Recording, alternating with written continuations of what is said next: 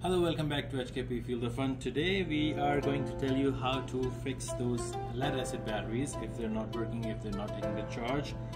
Uh, so first thing first, we have to remove this cover, the top.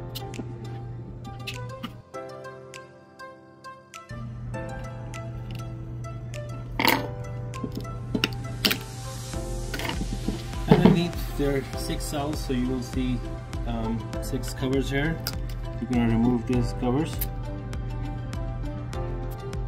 If your battery is dried up from a long time, you haven't charged it, there are bright chances that there is no water inside. You can use distilled water. If not, you can just any, use any water. Um, we'll fill up the syringe here. Now we're gonna fill all these cells with water. We don't wanna fill it too much, just as that you can see the water, but it should not spill out.